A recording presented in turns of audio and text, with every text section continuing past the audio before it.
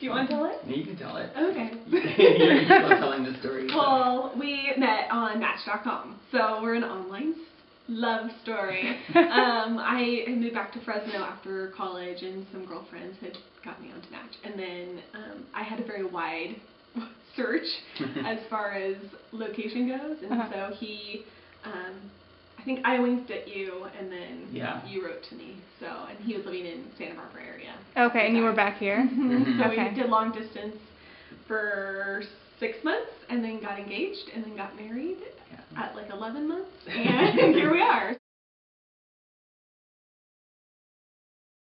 I come from a background of entrepreneurs. My dad owns his own business, and something that's always been a goal of mine is opening a business. So, like, in one of our first dates, just a conversation that came up. I'm like, hey, I eventually want to open something on my own. Are you cool with that? And she's like, absolutely, let's do it. Let's, you know, let's, let's figure out something. And so we threw around a couple different ideas, and um, one day we just were kind of like, you know what, Fresno's missing is ice cream. And she was like, I should see if I can make good ice cream. and we kind of fooled around with it. And this was a little bit over a year ago. And we just started kind of fooling around with some recipes. And we had some favorite ice cream places in big cities like in San Francisco, Bi-Rite or um, McConnell's, which is in Santa Barbara. And actually, on our first date, we went to McConnell's. I was like, hey, we're just going to walk around the corner. And then, like, six miles later, we finally got to this ice cream shop in Santa Barbara.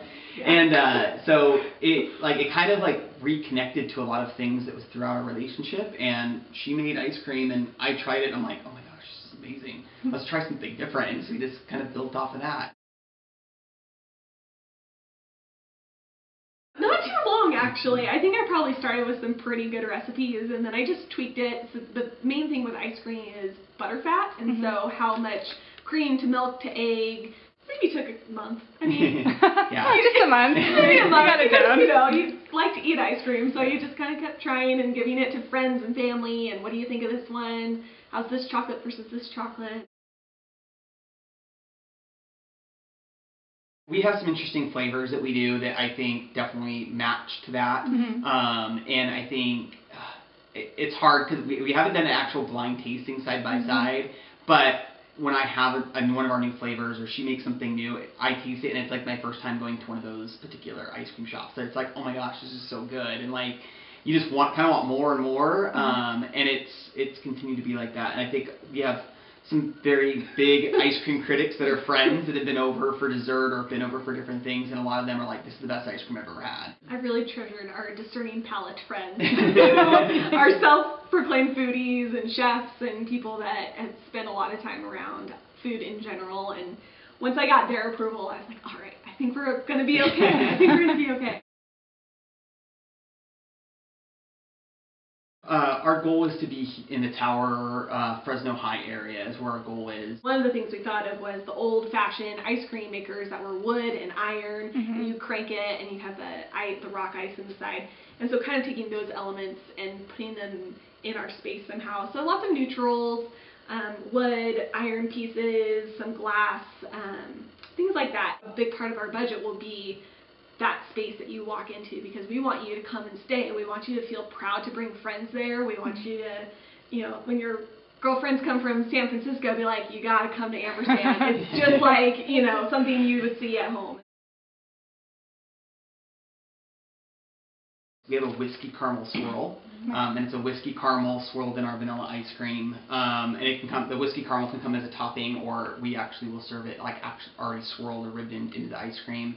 Um, and then a lot of people have really liked our Rocky Road as a traditional flavor. Uh, we hand make our own marshmallows. Uh, we're using Fresno, Fresno almonds um, and then a dark chocolate like base to that. And so it just the whole freshness feel of it. Like people eat the ice cream, the marshmallows, and they're like, oh my gosh, these aren't just like marshmallows you buy from the supermarket. These are something that are fresh, and there's Mhm. that different taste level in that that you can see. The strawberry balsamic has also become very popular as well. So it's a strawberry ice cream, which is great because Fresno has so many strawberries. Mhm. So um, we'll be getting those locally, and then it's a balsamic glaze, so it's a reduced balsamic honey glaze that we uh, swirl in, fold in.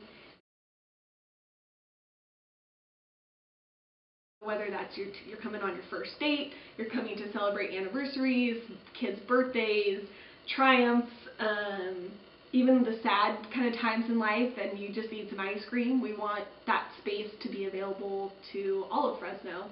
Um, and so we hope that our one of our taglines is ampersand ice cream or ampersand where ice cream and community meet and that we really want our products and our environment to inspire community development. Also, to develop community, we plan on, after about a year being open and being established, we want to start working with nonprofits and doing some work training um, programs with um, either women who have um, been, you know, in abusive situations and need to get back on their feet and they are, think they might be good in food, or if it's um, working with other nonprofits that are doing amazing things in Fresno, getting people, homeless people or just people that are down their luck to kind of gain new skills to enter the workforce. And if we can get them their food cer- safety certifications and, and that through our business, then that's more benefit to the overall community in Fresno.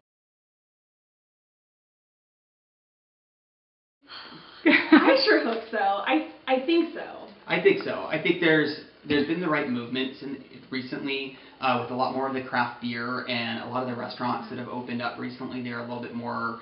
Um, you know, you have Dusty Buns, you have the Schoolhouse uh, restaurant out in Sanger. You have a lot of these restaurants that are really kind of pushing the ends of cul- culinary, at least to the Fresno eye, and they've been successful. And so I think the next step in that is ice cream.